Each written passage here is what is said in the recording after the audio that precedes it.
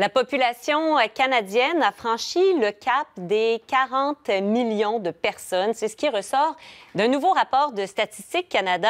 On va en parler avec notre collègue Olivier Ferron-Boissier. Olivier, il fait état de la plus forte hausse annuelle depuis le baby boom.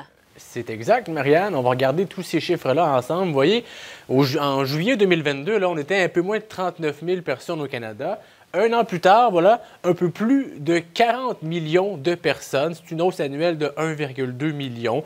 Euh, et à 2,9% ben, vous l'avez dit, hein, euh, c'est la plus forte croissance depuis 1957. Sauf que cette fois-ci, euh, c'est surtout en raison de l'immigration.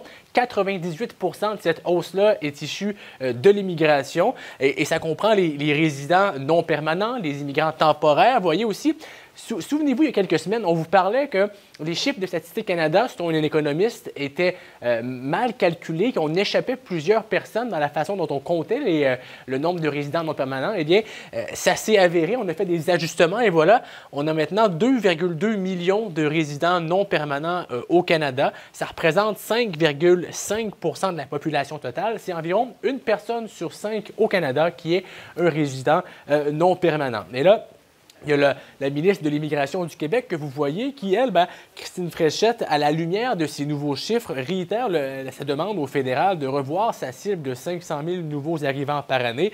C'est en raison de la capacité d'accueil qu'elle juge insuffisante. On va l'écouter. Le fédéral semble dire ben, 500 000, ça sonne bien.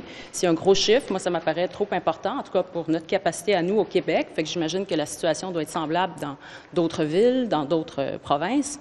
Euh, mais le fédéral ne semble pas considérer en fait la capacité d'accueil. J'en ai discuté avec M. Miller, puis ça n'était pas un élément de sa réflexion. Alors, est-ce qu'en effet, le fédéral ne considère pas la capacité d'accueil dans ces cibles-là?